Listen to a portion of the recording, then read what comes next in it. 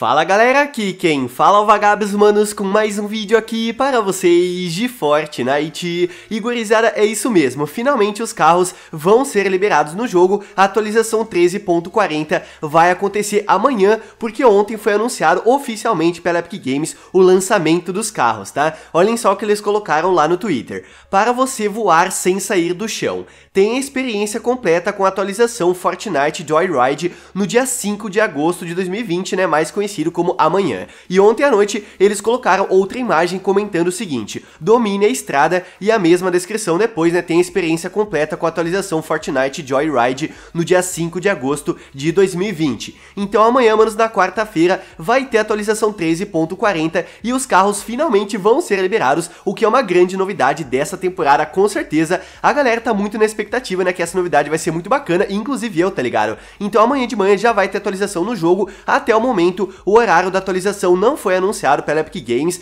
mas eu acredito que vai ser por volta aí das 3, 4, 5 horas da manhã no horário de Brasília, mas de qualquer forma, eles vão comentar né, o horário oficial hoje mais tarde, então assim que eles comentarem né, o horário oficial, eu aviso vocês lá no meu Twitter também, então se você quiser me seguir no Twitter, né, fique à vontade. E rapaziada, uma coisa muito interessante também a respeito dos carros, vale lembrar vocês, é que vão ter diferentes tipos de carros aí pra gente poder dirigir. Como deu pra ver nas próprias imagens divulgadas pela Epic Games, vai ter carro comum, comum, caminhão e também caminhonete. E olhem só, já foi encontrado nos arquivos do jogo quatro tipos de carro que a gente vai encontrar pelo mapa. Olhem só então as estatísticas do carro pequeno, que vai ser o carro menor, né? Obviamente pelo nome. Olhem só, pontos de vida do carro pequeno, 800 pontos de vida, capacidade de combustível 100, combustível usado por segundo. Quando o carro tá parado, né? Zero, obviamente, você não gasta nada de combustível, andando normal, 0.375 por segundo e utilizando boost, né, que é um turbo, você gasta muito mais combustível 5 por segundo. Mas quando você encontra um carro pequeno pela primeira vez na partida,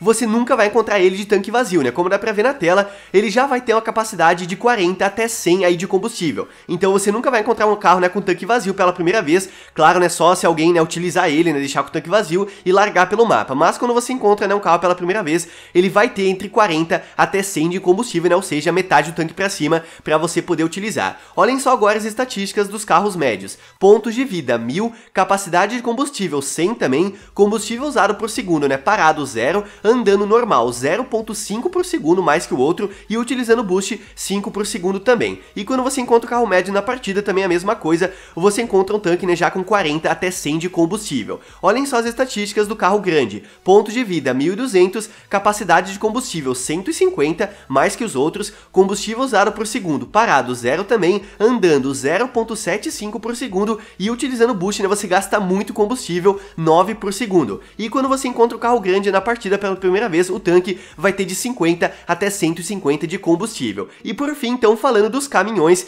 que é a classe né, mais alta, vou dizer assim, dos veículos que a gente vai poder utilizar. O ponto de vida do caminhão é desconhecido ainda, mas como o carro grande é 1200, eu acredito né, que os caminhões vão ter em torno de 1500 aí de ponto de vida. Capacidade de combustível 100, combustível usado por segundo parado 0, andando normal 0.333 por segundo segundo e utilizando boost 10 de combustível por segundo. Só que um detalhe muito positivo dos caminhões é que, como dá pra ver, quando você encontra um caminhão pela primeira vez na partida, o tanque dele vai estar tá sempre quase cheio. Vai ter entre 80 e 100 de combustível. Então, quando você encontrar o caminhão pela primeira vez, você não vai precisar se preocupar tanto assim com combustível aí logo nos primeiros minutos, né? Então tá aí os quatro tipos de carros que vão ficar disponíveis no mapa pra gente poder utilizar a partir da atualização de amanhã. Só que um detalhe importante que eu já quero deixar avisado para vocês é que como se trata trata de uma grande novidade no jogo, é muito possível né, que logo após o lançamento dos veículos vai ter alguns bugs, tá ligado? Então já quero deixar avisado, né, que vocês terem paciência e tudo mais, porque quando os veículos né, são lançados, geralmente eles sofrem com bugs, já que é uma grande novidade, né, se trata de novas mecânicas e tudo mais, então eu acho que é bem possível, né, que amanhã os veículos vão estar bugados também, tá ligado? De qualquer forma, claro, uma novidade muito insana, e amanhã, né, quando tiver atualização, fiquem ligados aqui no canal, vão ter vários vídeos, né, cobrindo todas as novidades e vazamentos, beleza? E uma parada bem interessante também foi essa imagem aqui divulgada pela própria Epic Games. Olhem só, lá no fundo da imagem dá pra ver que tem um carro pegando fogo, e todo mundo sabe que essa mecânica de pegar fogo foi lançada nessa temporada. A gente consegue, né, colocar fogo em árvores, construções e tudo mais. Então eu acho, né, que é bem possível que os carros vão pegar fogo também, e possivelmente, né, vão explodir, causando bastante dano, então tá aí uma parada bem interessante, e outro detalhe dessa imagem é que no canto esquerdo dá pra notar um personagem segurando uma tocha. Eu não tenho certeza que essa é uma tocha, mas me parece que sim. E a tocha, né, nunca foi lançada no jogo até hoje, então quem sabe esse item pode ser lançado no futuro, né? Só que, claro, apenas um detalhe, nada confirmado por enquanto. E, manos, olhem só, pra encerrar aqui o assunto dos veículos e tudo mais, eu quero falar do modo por tempo limitado de corrida, que vai ser lançado muito em breve no jogo também. Os carros vão ser liberados amanhã e tudo indica, né, que logo em seguida o modo de corrida já vai ser lançado. Só que um detalhe é que esse modo não vai ser somente corrida,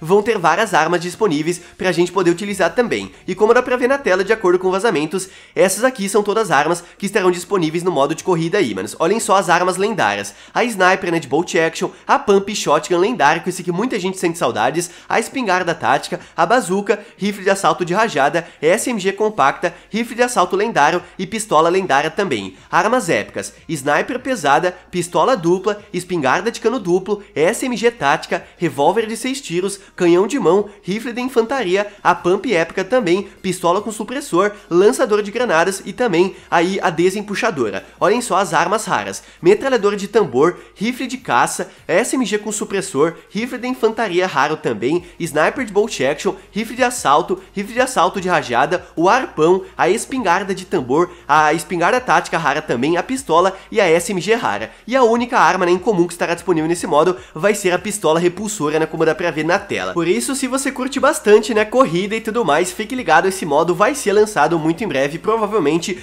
se alguma atualização, né, for feita nesse modo nos arquivos do jogo, é claro, eu aviso vocês aqui no canal. Mesmo assim, pelo que parece, vai ser um modo muito divertido. E por fim, gurizada, o último assunto que eu separei hoje é sobre o possível lançamento de duas novas skins. No caso, essas duas skins aí da tela. Porque numa tela de carregamento dessa temporada, como dá pra ver, aparece dentro de um carro a skin do Dummy, que é o robozinho dourado, e também a skin do Bryce 3000, que é um robô também, tá ligado? E tipo assim, essas skins, como acabei de falar, apareceram, né, desde o início dessa temporada nessa tela de carregamento dentro de um carro. E como os carros, né, vão ser liberados amanhã, tem uma grande possibilidade dessas duas skins serem lançadas no jogo já nessa semana, tá? Lembrando que elas já foram encontradas nos arquivos do jogo, né, como dá pra ver na tela, são skins da raridade rara, ou seja, cada uma vai custar 1.200 V-Bucks, e como elas aparecem na tela de carregamento dentro de um carro, eu acho que essa teoria faz muito sentido, que as skins vão ser lançadas muito em breve, claro, né, nada confirmado, mesmo assim, se você gostou das skins,